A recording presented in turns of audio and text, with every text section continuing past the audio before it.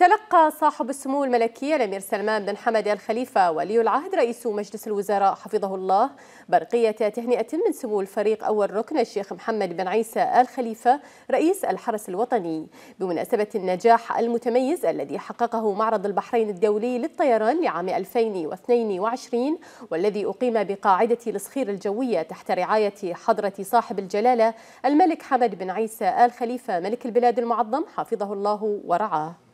وأعرب سمو رئيس الحرس الوطني في برقيته عن أسمى آيات التهاني والتبريكات بهذه المناسبة مشيرا إلى ما لقيه معرض البحرين الدولي للطيران في نسخته السادسة من مشاركة كبرى الشركات في مجال صناعة الطيران والذي أسهم إيجابا في إبراز الوجه الحضاري لمملكة البحرين وأكد نجاحها على مدى عشر سنوات في هذا القطاع الحيوي وهو نجاح يضاف إلى إنجازات مملكة البحرين على كافة الأصعدة.